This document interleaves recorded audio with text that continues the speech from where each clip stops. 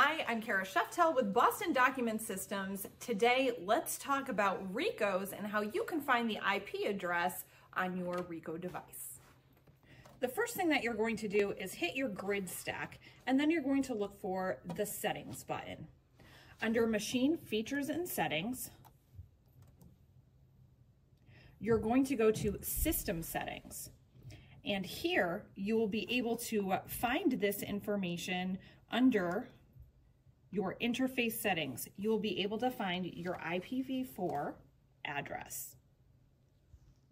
If you need a printout of your IP address, you can go to the grid, go to settings, again, hit machine features, and then you're going to go into printer settings.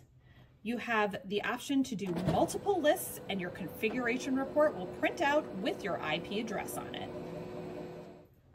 More information about your Ricoh MFP devices, you can reach us at bdsdoc.com or like and follow this channel.